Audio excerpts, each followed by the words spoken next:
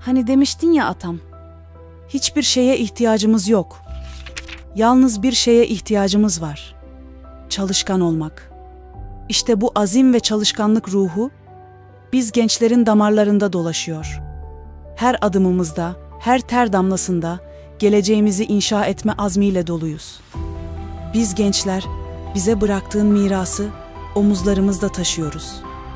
Senin yolunda yürüyerek ülkemizin aydınlık yarınlarını inşa etmek için durmaksızın çalışıyoruz.